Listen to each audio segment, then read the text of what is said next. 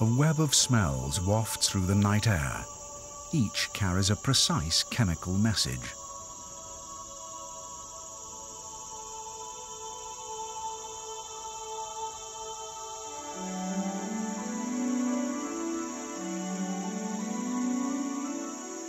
An hour after sundown, the provision flower broadcasts an aromatic advertisement to pollinators.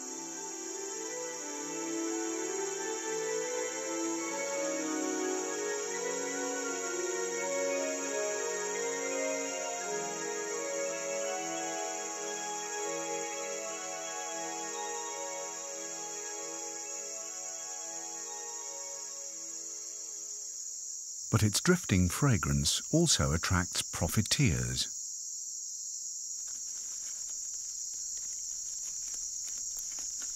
Kinkajous are sometimes known as honey bears. They cannot resist the sweet nectar pooled at the base of the petals.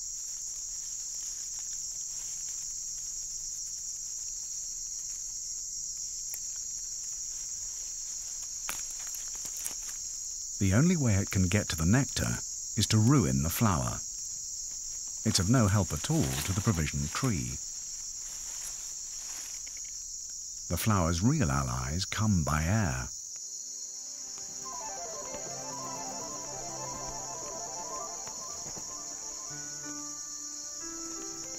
Long-tongued bats are drawn to the nectar by its sweet scent.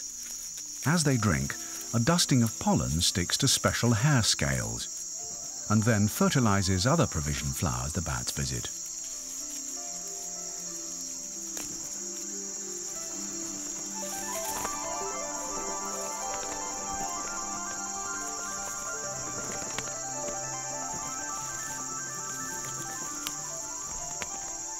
Provision flowers wilt as the dark hours wane.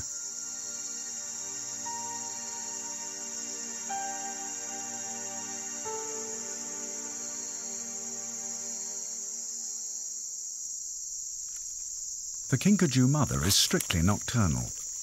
Natural signals that herald daybreak urge a return to her treetop nest hole.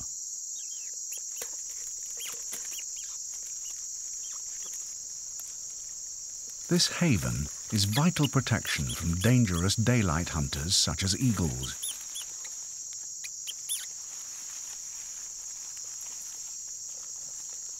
It is also a safe place to nurture her baby, who depends on her daytime presence to stock up.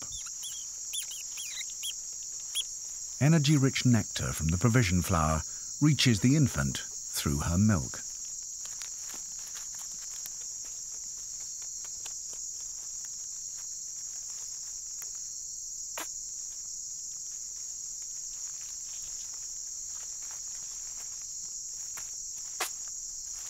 The baby will remain in close contact with its mother for at least six months, developing acute senses and grasping claws which will prepare it for future leaps in the dark. For now, there's plenty of time to sleep off a full tummy.